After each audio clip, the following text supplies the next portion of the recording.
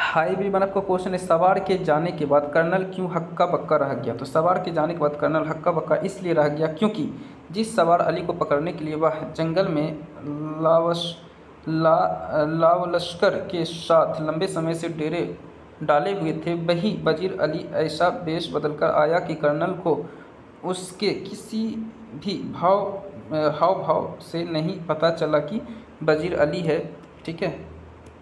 Okay इसी तरह आगे आप खुद से पढ़ लीजिएगा, यहाँ से लेकर के यहाँ तक, ठीक है? इसके अतिरिक्त, यहाँ से लेकर के यहाँ तक। So thank you